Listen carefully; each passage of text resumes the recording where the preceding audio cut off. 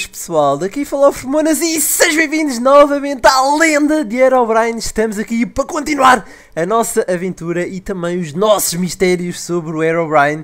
Eu tenho a dizer, antes de mais, é que eu vou tentar continuar esta série à medida que me for apetecendo gravar. O que eu quero dizer com isso é que eu não vou obrigatoriamente começar a partir as placas, uh, todas as letras do nome Herobrine para ir para o templo de Herobrine, porque sinceramente não é nada, não é nada fácil. Eu estive a tentar procurar por todas, todas as letras da, da palavra Herobrine enquanto não estava a gravar e foi muito difícil mesmo. Não foi nada fácil. Portanto, o que quer dizer é que se isso acontecer um dia, se eu conseguir um dia ir até o templo de Herobrine, vai ser épico, mas eu não vou forçar isso. É basicamente isso que eu queria dizer. Vou, portanto, no entanto, continuar a procurar letras. Em... Ah, não! Olá. Uh, zumbi, não! Ok. A partir deste momento tornou-se muito normal encontrar o Herobrine, já não é assim tão misterioso, mas o que eu quero saber realmente é qual a origem dele. Portanto, se eu um dia conseguir descobrir o Templo Sagrado de Herobrine, eu vou ficar super, hiper, mega contente. Oh, ok. Nice. Mas de qualquer forma, sim, vamos continuar a procurar pelo Herobrine. Aqui não tem nada. Eu queria encontrar as letras dele. Deixa eu ver se encontro aqui no mapa. Hum, nope. Uh, vamos por este lado, vamos por aqui. Eu tive, no entanto, eu sei que vocês adoram as histórias de Bear O'Brien. Eu sei que muitas delas são ficção. É claro que não podemos admitir que o Herobrine, a entidade que é o Herobrine, é verdade ou não. Nós não podemos dizer se ele é verdade ou não, basicamente. Uh, ninguém pode uh, comprovar realmente se ele existiu ou não. O que eu quero dizer é que esta história de ficção pode ser tanto ficção como pode ser verdade. Ninguém pode comprovar realmente qualquer uma das coisas. E outra das histórias que eu tenho para vos contar hoje é muito, muito interessante. Eu vou tentar subir até lá no topo. Ah, não! Maldito. Ok. Ah. Nice. Ok, conseguimos subir o monte. Vamos subir para as colinas. Vamos subir do Aerobrain para as colinas. Nice. Uh, e a história de hoje é muito interessante, para dizer a verdade. Foi uma das histórias que eu li nos comentários e depois que eu investiguei mais um pouco. Portanto, muito obrigado por todos os vossos comentários, a sério.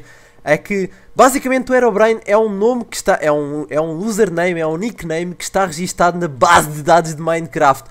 Ou seja, ele, o Herobrine é basicamente um jogador de Minecraft. E ele tem uma conta premium, o que é algo de inacreditável. É algo que eu queria ter explicado há alguns episódios atrás. É que realmente uh, alguém registou a conta Herobrine e está a utilizá-la. Portanto, ele pode na, na, realidade ser apenas um jogador e estar a, a apanhar toda a gente desprevenido e a gozar com essas pessoas, a, a rir dessas pessoas. Portanto, uau, eu fiquei muito chocado quando descobri isso, muito chocado mesmo. Uh, li também na trivia que o, o Notch para para se divertir um pouco e também para dar mais mística àquela coisa que é o Herobrine, ele decidiu de certa forma fazer um upgrade especial para o Herobrine, para o username Herobrine, e o que ele fez foi retirar o nome dele na parte de cima do, da nossa personagem. Ou seja, quando estamos em servidores, normalmente aparece lá Formonas, Venom, Monarch, qualquer coisa assim, Monarch, qualquer coisa assim do género. E o que ele fez, o Notch, foi retirar esse nome lá de cima, ou seja, as pessoas não sabem que realmente é o Herobrine. Pensam que é um Steve com olhos brancos. Hum. E outra coisa interessante é que o Notch também retirou. Um, o, ok. O Notch também retirou aquela, aquela frase que aparece quando entramos no servidor que é uh, Formonas join the server, algo assim. Ele conseguiu retirar isso, o Notch. Claro que ele é o criador do jogo e faz com que ainda seja mais misterioso essa coisa, porque ele pode entrar em qualquer servidor sem nós realmente sabermos se ele entrou ou não, porque não aparece a dizer que o Herobrine entrou no servidor. E isso deixa-me com medo. Eu nunca mais vou. eu nunca mais vou conseguir entra entrar num servidor da mesma forma. Eu vou ficar com medo. Porque o Notch pode estar entre nós sem nós realmente sabermos. Maldita! Onde é que está as tuas letras? Da palavra era Brian, eu queria saber. Oh, vaca! Ok. Um, não, não, não, não. Uh, pá! Nice. Outra das coisas, outra das curiosidades, uh, não é curiosidade, é faz parte do mito também, é que, como eu demonstrei no primeiro episódio, é que o Herobrine consegue possuir todos os tipos de animais, desde as vacas aos porcos, às aranhas, a todos os mobs, sejam eles uh, agressivos, sejam eles simpáticos, como os porquinhos. Anda cá, porquinho! Porquinho! Ah, Dá-me a tua carne! Os porcos não dão carne! porque. Ou seja, vocês tenham muito cuidado quando estão a matar um porco porque ele pode ter sentimentos! Ou então pode ser o, o Herobrine disfarçado. Pode ser uma ovelha simpática. Nós não sabemos. Ele pode estar em todo o lado. Ele é uma presença espiritual que pode estar em todos os servidores, em todas as nossas vidas. Quando nós estamos no banheiro, ele pode estar atrás de nós. nós não sabemos, para dizer a verdade. Um, tem ali mais porco. Porquê é que eu não encontro a palavra Herobrine? Era épico encontrar em vez do H ou em vez do E, encontrar a palavra toda, Herobrine. E eu aí, eu borrava-me todo, eu deixava de jogar Minecraft. Have you seen the hero, Brian? Eu sou muito cantador. Ok. Parece que o Herobrine não quer aparecer. Ok. Nem quer mostrar uh, o seu nick. Em glowstone. Ok. Ah, estou com fome. Ok, o que é que vamos fazer? Vamos dormir, está a ficar... Oh! Não! Eu não quero nada contigo. Chama o teu amigo Herobrine. O que é que eu vou fazer, pessoal? Vou dar aqui um mini corte. Eu vou dormir, provavelmente, e vamos tentar, pela manhã, quando já não estiver a chover ou a nevar, vamos tentar descobrir as letras de Herobrine e ver se ele realmente nos quer fazer bem ou, ou se nos quer fazer mal. Portanto, eu vou dar aqui um mini, mini mini corte e já volto. E estou de volta, pessoal. Estou aqui na minha casa temporária, que é linda e muito pouco segura. E não é linda, para dizer a verdade, não é linda. É a pior casa alguma vez feita na história da humanidade Minecraftiana. De qualquer forma, vamos dormir, vamos ver, vamos esperar que nada aconteça desta vez. Mas desta vez eu estou preparado! Estou numa biblioteca. Ok. Uh, é saída, ok. Deixa-me sair do sonho. Ah, estou vivo. Obrigado. Obrigado. Eu vou levar aqui. Uh, Yep, eu vou levar aqui a minha cama. Eu quero a minha cama de volta. E vou levar alguma da terra apenas para se precisar de fazer novamente uma casa epicamente épica. Uh, eu não preciso de olho de aranha. Não gosto de, não gosto de aranha. Portanto, vai-te embora. Ok. Uh, vamos continuar. Vamos nesta direção que foi a única que eu ainda não tomei. Que pode ser que tenha algo diferente. Uh, pode ser que eu encontre algum monumento de Herobrine. Portanto, vamos nesta direção. Vamos ver o que é que nos espera deste lado. Eu quero dizer é que eu tive a investigar um pouco mais. Como vocês sabem, eu sou, eu sou muito investigador. Eu, eu gosto muito de investigar. Principalmente agora que estou a fazer esta série da lenda de Herobrine. Eu estive a investigar e descobri um quiz, que é assim um género de perguntas e respostas sobre Herobrine e eu tenho a certeza que vocês também estão interessados em saber uh, aquilo que é. Infelizmente o quiz, uh, as perguntas são feitas em inglês, mas são muito simples e se vocês tiverem dúvidas, usem o Google Translator que aquilo facilmente conseguem traduzir. É um quiz muito, muito interessante mesmo, está muito bem feito e vai testar realmente se vocês são crentes de Herobrine, se vocês acreditam na história, na lenda de Herobrine ou não. Ou se pelo menos vocês conhecem e se estão a assistir a lenda de Herobrine, esta série. Se vocês não tiverem, eu vou ficar triste.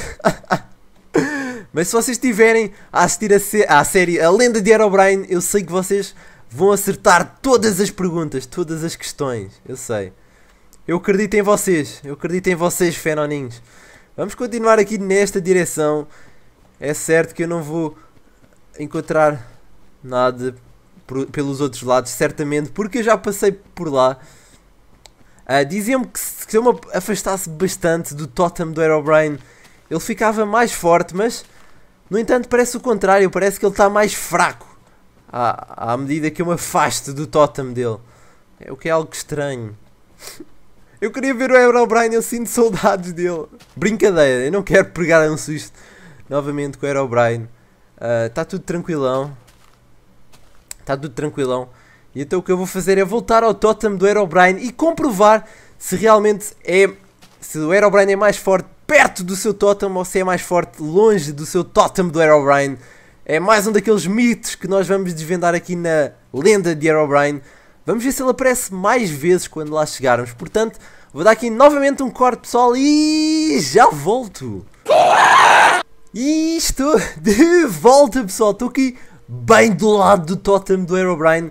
Eu não vou ficar aqui bem perto mesmo, porque dizem também que ele tem medo quando estamos imediatamente ao lado do totem. Portanto, vamos andar por aqui perto. O que eu quero dizer e que eu acho que não expliquei bem há pouco é que eu vou deixar aí o link do quiz na descrição. O quiz, uh, quiz é perguntas e respostas. Não foi feito por mim esse, essas perguntas uh, sobre o Herobrine. Foram feitas por estrangeiros, não sei bem de onde são.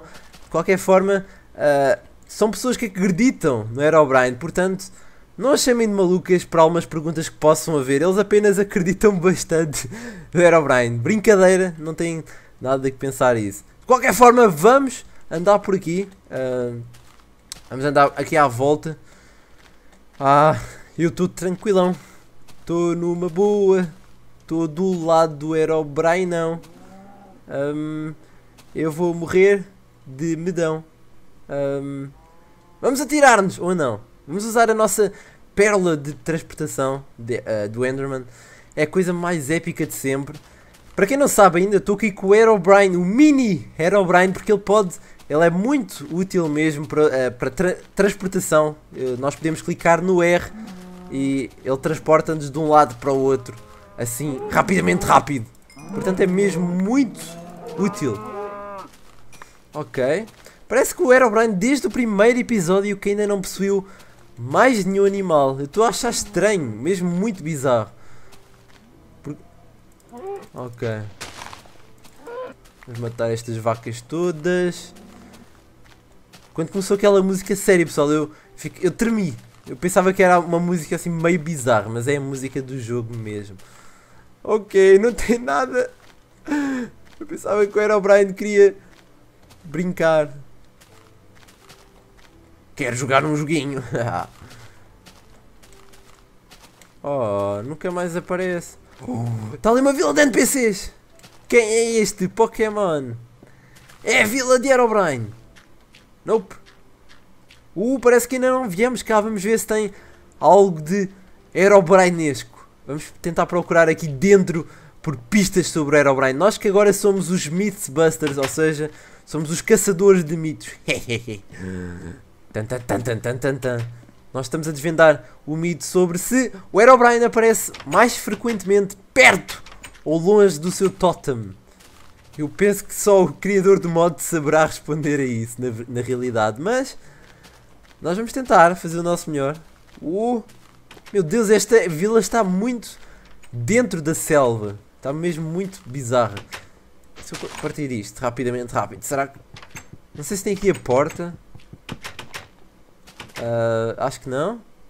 Meu Deus, esta casa é muito estranha. Ah, a entrada está aqui. Que não tem nada. Que ótimo. Sempre bom. Sempre ótimo. E como vocês sabem, algumas, em algumas das vilas de NPCs tem a casa do Herobrine, assim disfarçada, com tochas de redstone, mas parece que não tem. Ok. Então, peço desculpa, NPCs, caras de lulas. Como uma lula no chão. Não, sério. Tenho que parar. Isso foi uma coisa épica da, da série Assassin's Creed. Ou Minecraft Script. Qualquer forma, uh, como eu estava a dizer, eles mascaram-se de villagers. Oh, está aqui um senhor villager. Olá. Eu soltei-te agora. Dá-me comida. Maldito. Uh, posso fazer pão. Nice. Nice. Ok. Ah, yes! Tanto pão, eu já não vou morrer de fome. Nice! Ok. Uh, que é que vamos fazer agora? O que é que vamos fazer agora? Eu vou deixar o próximo episódio à vossa sugestão. Eu quero pedir as vossas opiniões. O que é que eu devo fazer no próximo episódio? Deixem aí comentários, eu vou ler todos os comentários que vocês façam aí em baixo e vamos tentar descobrir o que é que vamos fazer no próximo episódio porque eu estou muito interessado em saber. Deem uh, sugestões alternativas, diferentes, inovadoras, criativas. E este lindo pôr do sol está a matar-me. Está mesmo muito bonito. De qualquer forma, vamos terminar por aqui, pessoal.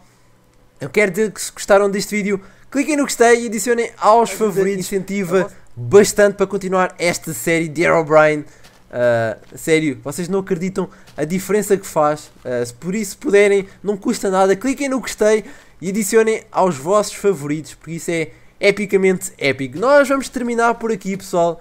O Herobrine não quis aparecer muito neste episódio. Está ali um. Está ali um Ocelot. Uh, um Ocelot. Vem cá, gatinho.